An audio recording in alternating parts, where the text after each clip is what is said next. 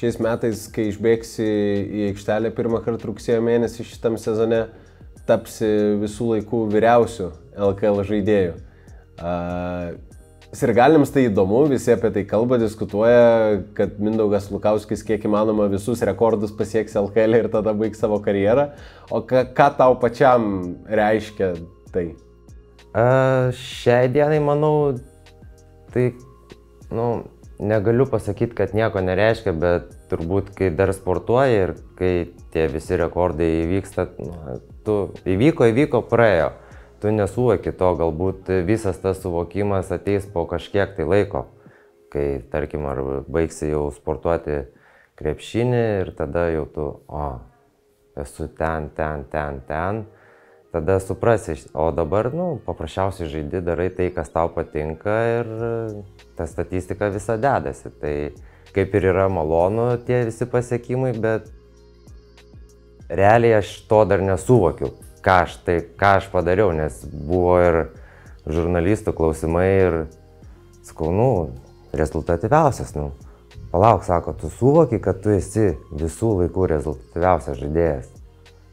Nu, sakau, dabar kaip ir suprantu, bet, nu, nemoku net išsireikšti. Manau, kaip ir būna, kaip ir su pergalėm ar su titulais. Kai tu laimi, nu laimi, džiaugsmas, džiaugsmas, bet tu kažkaip, nu, nesuvoki to praeina kiek metų, va, aš buvau ten čempionas kažkur tai. Nu, ir tada tu supranti, kad tu kažką padarėjai ir tu kaž, kad jau esi istorijai. Tai manau, tam reikės laiko, kad suvokti, ką, ką man pavyko pasiekti.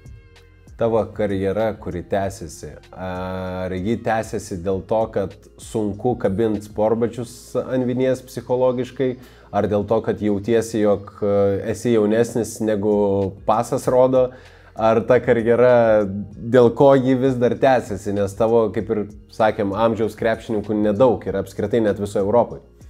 A, ne, galbūt nėra sunku kabinti sporbančio atvinės, paprasčiausiai aš jaučiu, kad aš dar galiu žaisti ir man leidžia tą daryti kūnas.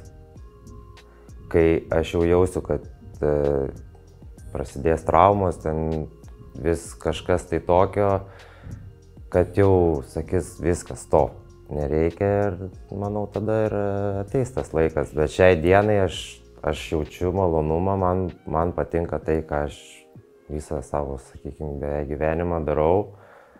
Ir jeigu aš galiu daryti, kodėlgi man nedaryti.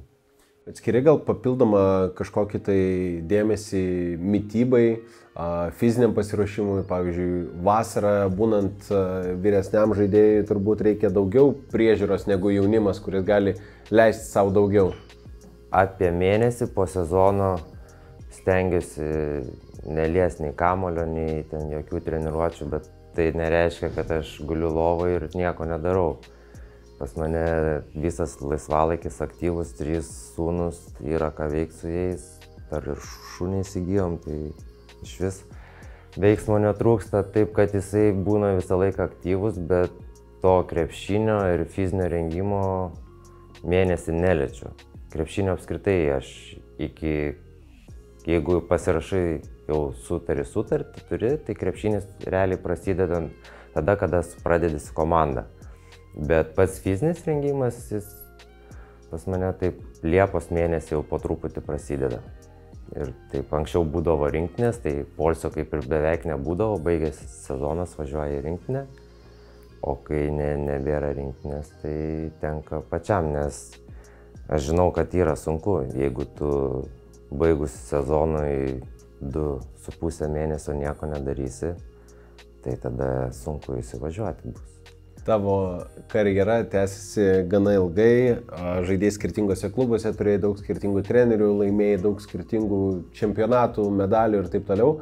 Ar kaip krepšininkas dar turi kokiu nors neįgyvendintų svajonių, ar, ar, ar kaip krepšininkas gali pasakyti, kad apie ką svajojai, viską turėjai, ką pavyko pasiekti iki šiol?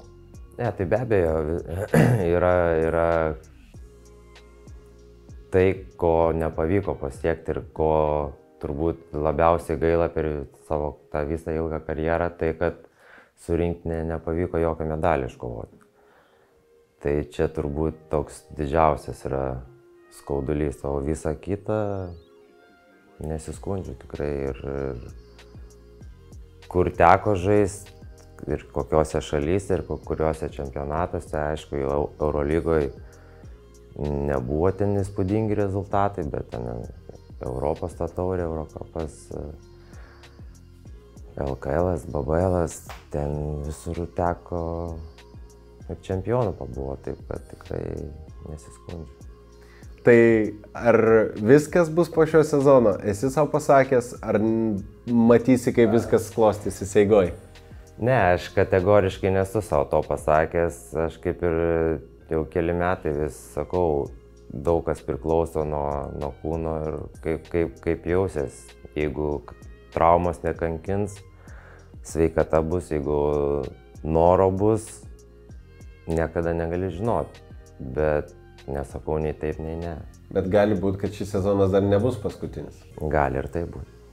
tai to ir palinkėsiu, jeigu Ačiū. to nori.